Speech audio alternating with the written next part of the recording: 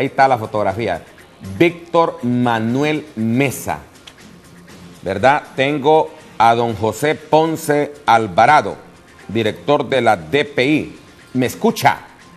Te escucho, Eduardo, aunque estamos en una zona alejada, pero sí se escucha un poco. Usted, me, este, ¿por qué han detenido al alcalde de Reitoca, al señor Víctor Manuel Mesa? Eh, don Eduardo, del, del hecho que ocurrió el fin de semana, en donde murieron cinco personas que fueron encontrados en la, a la altura del desvío de Reitoca, y que eran miembros de una iglesia que se llama Iglesia Peniel.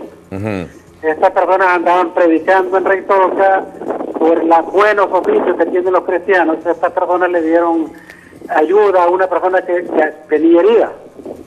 En el camino se le atravesó un vehículo Navara y le dieron muerte no solamente a la persona herida, sino a las cuatro, a las cuatro personas de la iglesia Peniel. Y después los arrojaron a un, a un abismo. Desde ese día nosotros estamos trabajando en la investigación y gracias al apoyo de la población que está confiando en nuestras instituciones, logramos identificar al principal responsable de este hecho que ocurrió el fin de semana, Eduardo.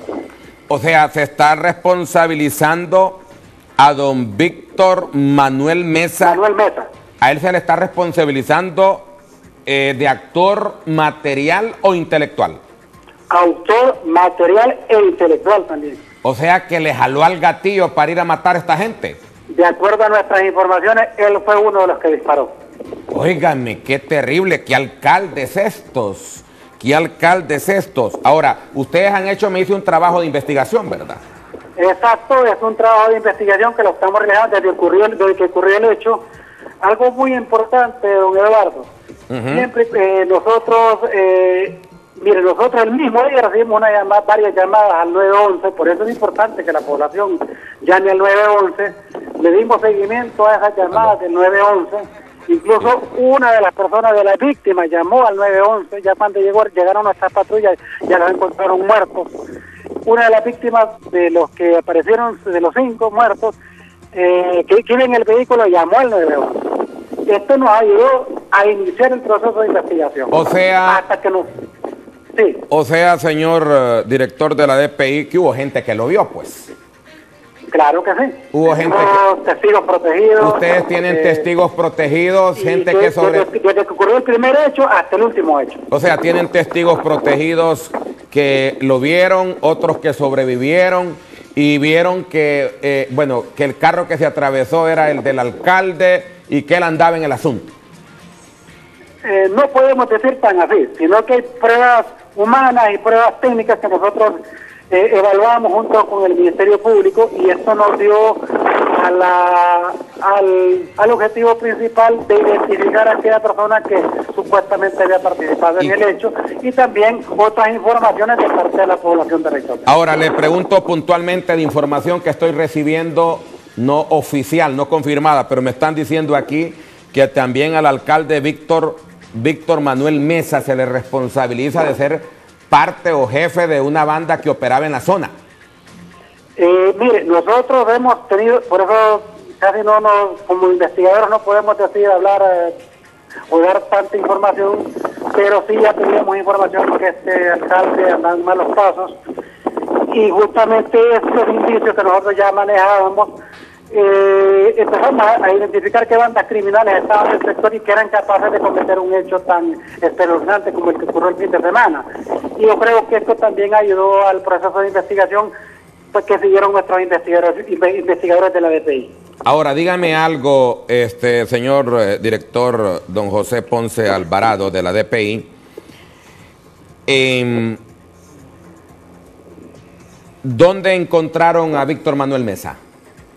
Eh, es importante señalar, don Eduardo, que nosotros la estamos montando vigilancia desde el día de ayer, junto con todas las miembros de la Policía Nacional.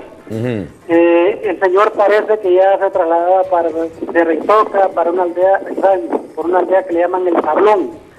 Ahí lo requirió la Policía Nacional, en donde nosotros ya teníamos informados a, lo- a los miembros de la Policía Nacional que no podía salir del sector, y que se nos informara inmediatamente.